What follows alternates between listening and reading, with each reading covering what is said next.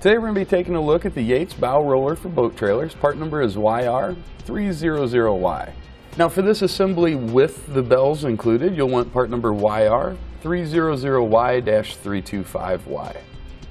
Now this replacement roller is designed to ease loading and unloading of your boat in its basic design, but it's made of a thermoplastic rubber. Now this rubber is designed to be much stronger than a standard rubber, and it's going to be softer than a polyurethane. With that material, we also won't have to worry about the roller causing any marks on our boat. It's designed to absorb road shock as we head down, so the stresses that our trailer experience won't be passed through to the boat. Now just to give you an idea of the dimensions so you can ensure it's going to work for your application, the roller itself is going to be 3 inches wide and it has a 3 inch diameter. The hole going through the middle is going to be a half inch, so it's going to work with any system that has a 3 inch requirement with a half inch bolt or pin. Now the first step in your installation process will be removing the existing roller if you have one on the front.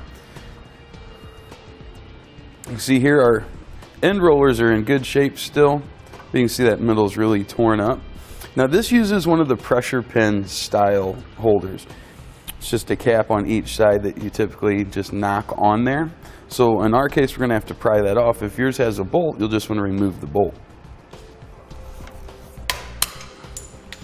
And with that off, we'll just slide our components out. You can see our shaft here is in pretty good shape. We're just going to be reusing this. We're going to put a new hat on the end. Part number there is going to be CE10800. You could also use a replacement bolt. However, if you're using side rollers like this with a thickness of about an inch, that bolt's not going to be long enough. For the bolt itself, the part number is CE11096ZY. Our washers are part number CE10961ZY. We're going to be using two of those and the nylon lock nut, part number CE10812ZY. Now the kit that we mentioned earlier is going to have all the hardware we just talked about. It's going to have your middle roller and it also has the bell off the side. So if you can't recycle your original bumpers, you can replace them. And we'll take our parts here and we're just going to slide these back together.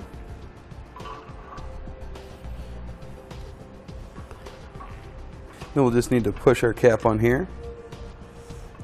Once you have it started, you just want to knock it on. That's going to complete our look at the Yates bow roller for boat trailers.